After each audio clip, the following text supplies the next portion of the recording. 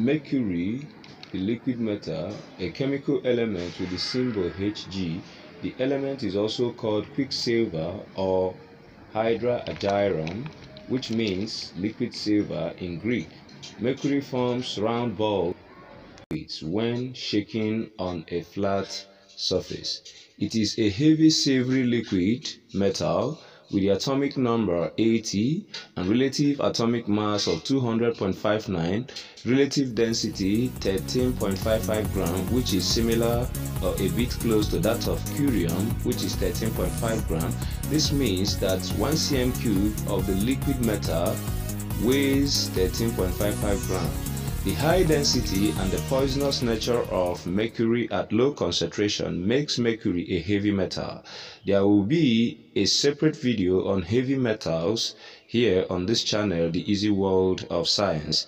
The melting point of mercury is minus 38.83 degrees Celsius, while the boiling point is about 356.58 degrees Celsius. Mercury belongs to the D block elements in the periodic table found alongside with zinc and cadmium in the group 2b, that is the group 12 in the IUPAC recommendation.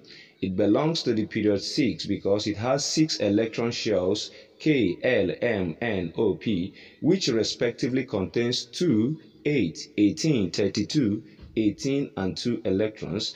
The electronic configuration can be summarized as xenon 4F14, 5D10, 6S2. It is less reactive than zinc.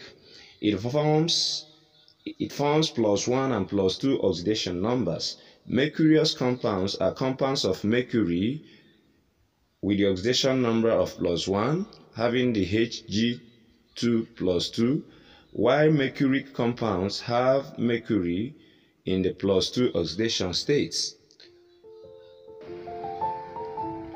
Warning, don't inhale excess mercury vapor or ingest mercury because it is extremely poisonous. An alloy of mercury and any other metal is called amalgam. The common one is the dental amalgam.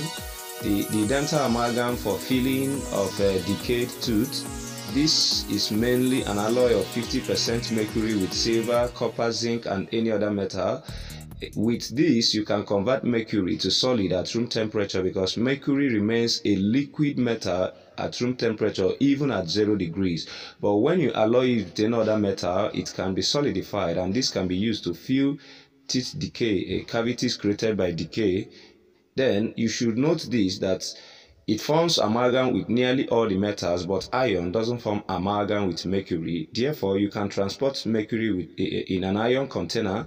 Then mercury can be used in making of thermometer, barometer, and other things apart from the amalgam. So thanks for watching and stay subscribed. Sir Majesty Easy World Science Channel is good for you. Mercury is a strange metal for being the only liquid metal at room temperature, even at freezing point, that is, even at 0 degrees Celsius. This is a unique feature of Mercury. Thank you. Don't forget to subscribe.